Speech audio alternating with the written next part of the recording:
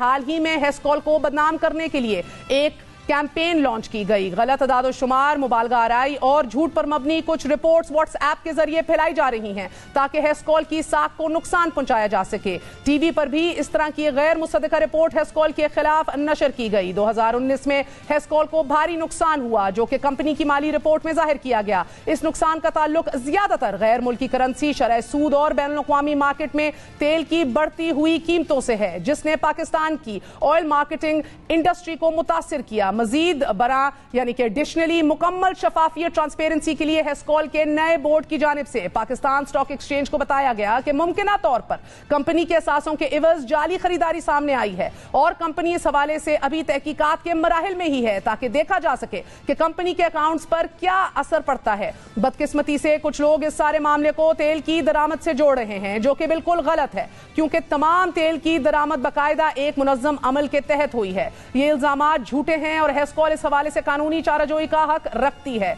2020 में कंपनी के हालात में बेहतरी और कंपनी को राह रास्त पर लाने के लिए नए सीईओ और चेयरमैन का तकर्र किया गया ताकि हेस्कॉल को दोबारा मुनाफा बख्श बनाया जा सके। इंतहाई काबिल एहतराम और तजर्बाकार सबक बरतानवी वज़ीर सर एलन डंकन को ऑयल इंडस्ट्री में महारत और तजर्बे के बायस चेयरमैन लगाया गया। अदीब अहमद साहब कॉपरेट इन्वेस्टमेंट और रिस्ट्रक्चरिंग प्रोफेशनल माहिर को हेस्कॉल का सीईओ लगाया गया।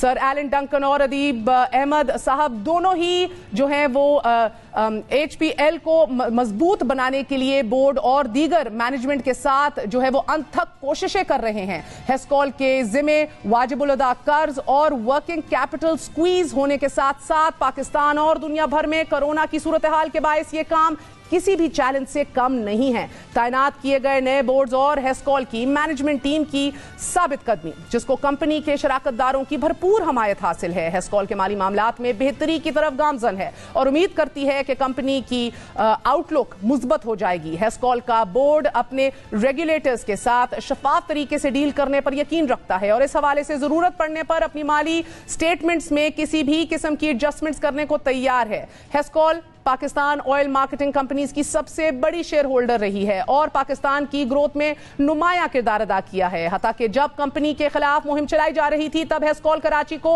अंधेरों से बचाने के लिए फर्नेस ऑयल का बंदोबस्त करने में मसरूफ थी। माली मामला में दरपेश मसाइल को सही करने के लिए हेस्कॉल अपने बैंकिंग पार्टनर्स के साथ कंपनी की माली रिस्ट्रक्चरिंग प्लान पर बातचीत कर रहा है। इस सिलसिले में मशहूर रिस्ट्रक्चरिंग एक्सपर्ट जो है उनका ज़िक्र करती है अपने रिजॉइंडर के अंदर। एंड मार्सेल एलएलपी को रहनुमाई के लिए मुकर्र कर लिया गया है।